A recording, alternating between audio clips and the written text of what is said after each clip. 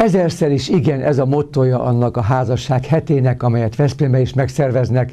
Igen, gazdag a programkínálat.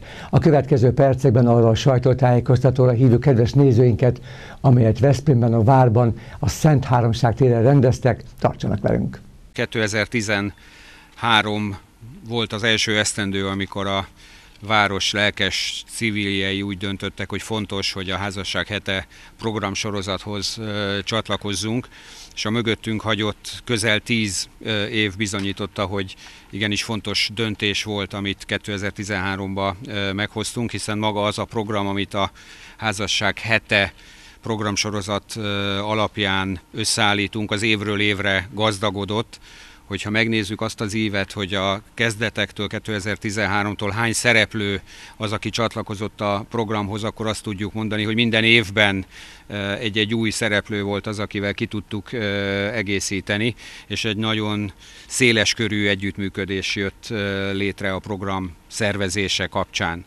2021-es év az nyilván mindannyiunk életében egy különleges helyet foglal el, amikor mi a tavalyi házasság hete programait összeállítottuk, akkor a világjárvány egy talán távolinak, bár akkor már Európában lehetett érzékelni, de a 2020-as programjainkat egyébként nem érintette. A 2021-es programjainknak a gerincét viszont sajnos az online térbe kell, hogy megvalósítsuk.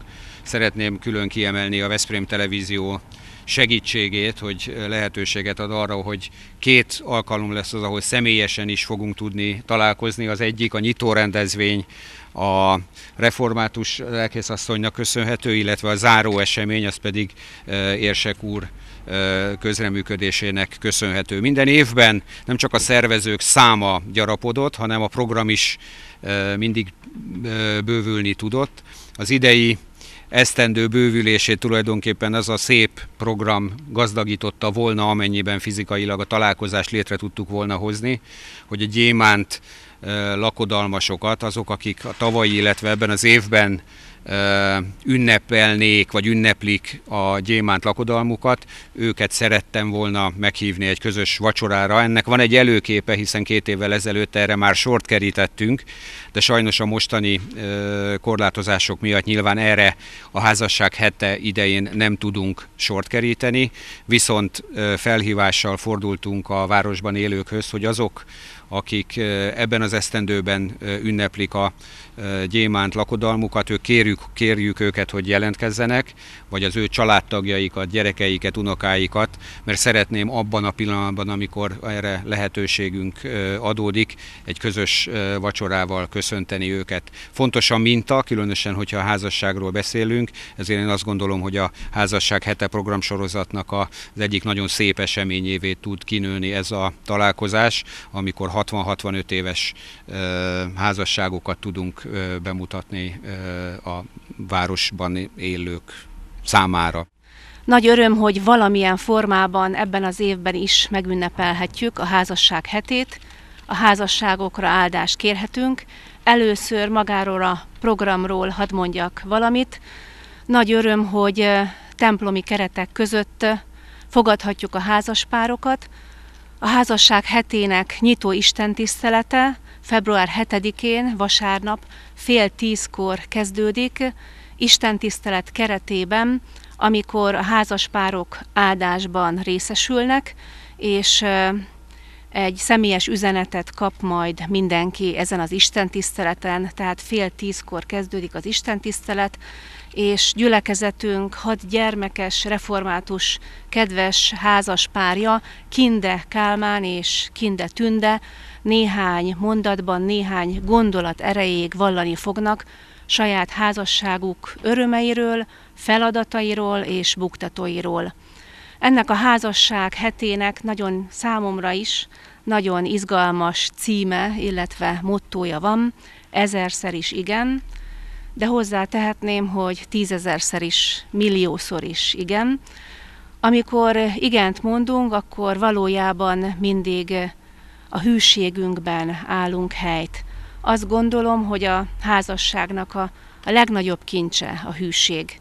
egy olyan világban, ami, amiben nagyon sok minden a hűtlenségre szólít föl, a legapróbb dolgok területén is, és azt mondani, hogy én hű vagyok, valójában azt gondolom, hogy az Istentől tanult hűség nélkül ez nagyon-nagyon nehéz.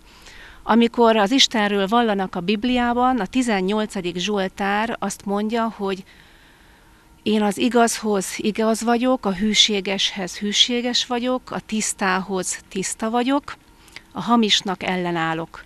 És azt gondolom, hogy itt most a kulcs szó az, hogy ellenállok. Mindannyian a saját házasságunkban kísértéseknek is ki vagyunk téve, de milyen jó, amikor az igenünket ünnepelhetjük újra, és erre szeretnék mindenkit szeretettel és örömmel hívni. A templomban a távolság tartás szabályai mellett tudunk találkozni. Még egy személyes gondolatot hadd osszak meg. A szüleim ebben az évben 52. házassági évfordulójukat ünneplik, és mi, mint gyerekek, család erre nagyon büszkék vagyunk, és amit tőlük tanultam, ez, ez a kulcs szó együtt. Együtt lehet csak programokat megélni, együtt étkezni a vacsoraasztalnál, együtt látogatni barátokat, családtagokat.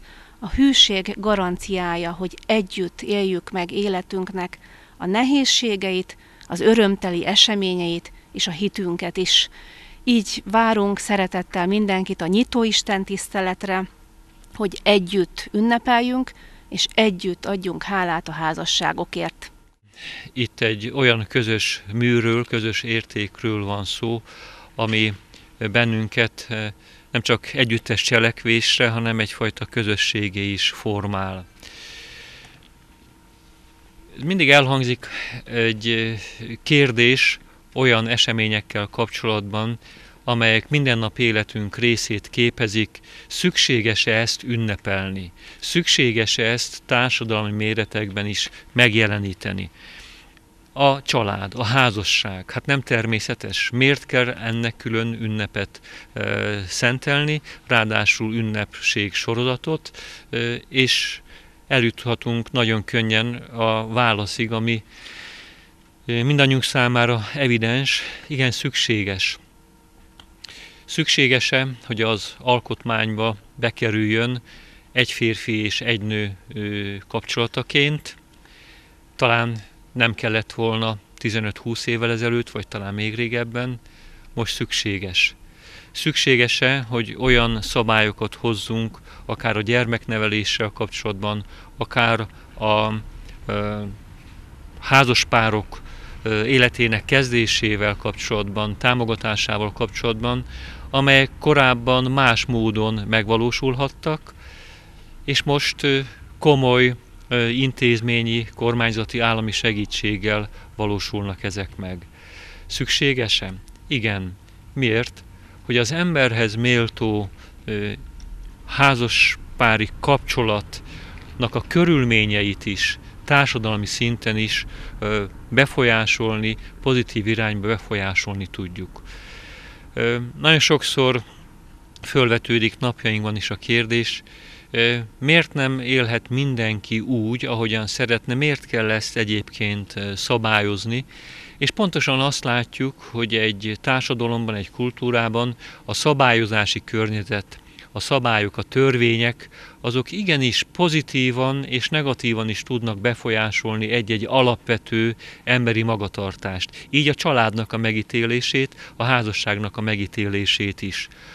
Hadd mondjak egy példát, egyszer egy fiatal közösséggel találkoztam, és ott a, az egyik fiatal lány, aki 24-5 éves volt, maga is kereste maga életútját, a következő kérdéssel állt elő. Hogyan merjek én igent mondani a házasságra, amikor körülöttem mindenki, a nagybátyáim, nővérek mind-mind sajnálatos módon zátonyra futott házasságban élnek. És nyilván nem az ítélkezés volt az, ami megfogalmazódott ebben a kérdésben, hanem az, hogy lehet-e akkor, amikor a társadalmi közeg, vagy a társadalmi vagy elfogadott magatartásforma jelentősen befolyásolja, akár megoldási modellként is a, azt, hogy az ezerszer is igen, az ne kerüljön kimondásra. Valóban ezt szeretném, én magam is, amikor készültem picit, ezt a gondolat emelkedett ki. Az ezerszer is igen, az az, az Istennek a hűség, a mindig, hiszen Istennél az ezer év és az egy nap, vagy az egy pillanat az ugyanaz.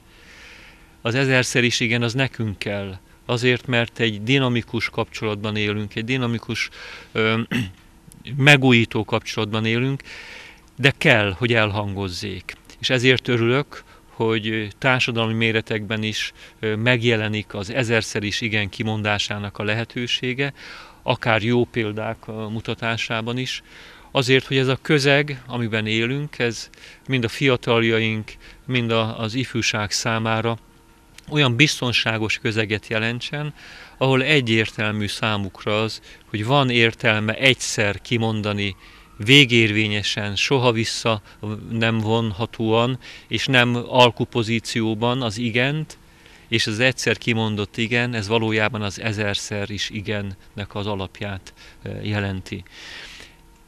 Nagyon örülök, hogy ez a kezdeményezés a városunkban nyugodtan lehet mondani ilyen nagy múltra tekint vissza, és nem csak nagy múltra, hanem dinamikus programok azok, amelyek ezeket az eseményeket előkészítik, kísérik.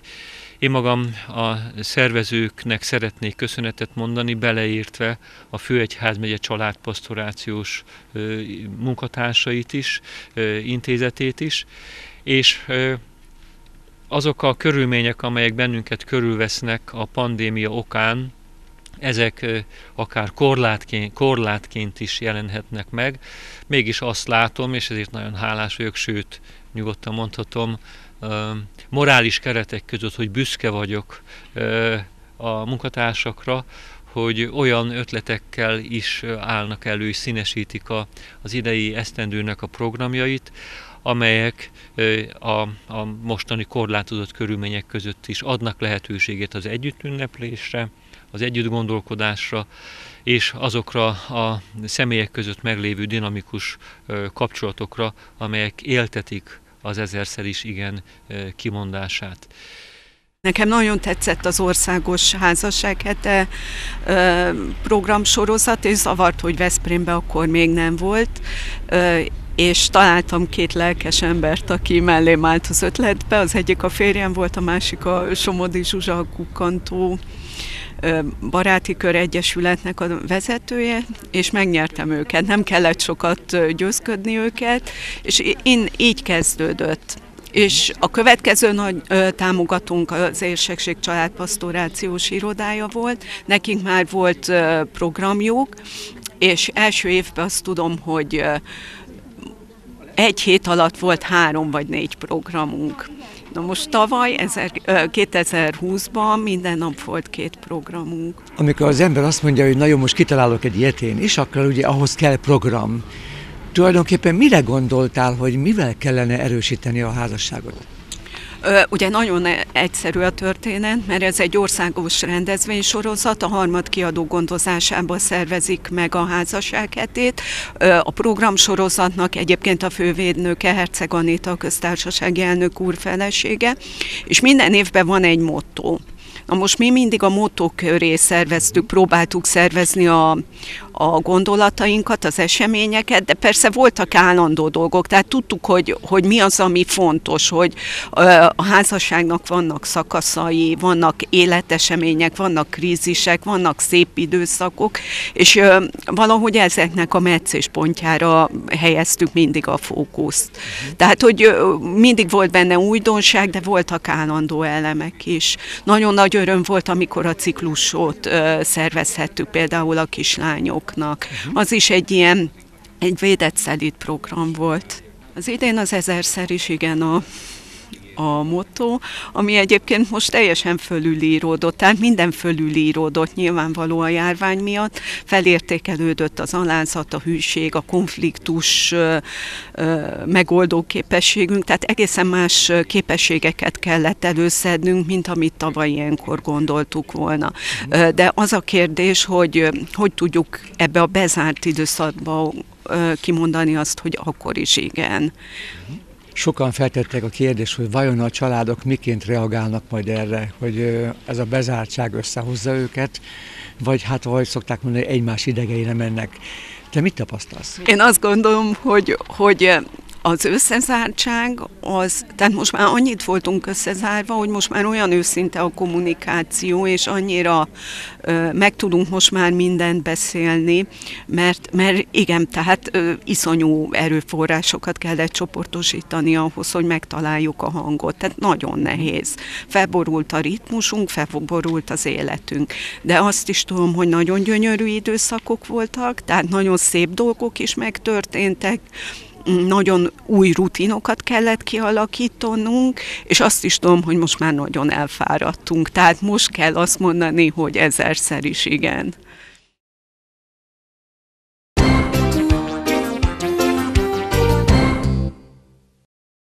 Magazin műsorunk végéhez éve köszönöm szépen nézőink figyelmét, maradjanak továbbra is velünk, vigyázzanak magukra, közben nézzék a Regina televíziót, Munkatársaim nevében is kellemes időtöltést, jó szórakozást kívánok viszontlátásra!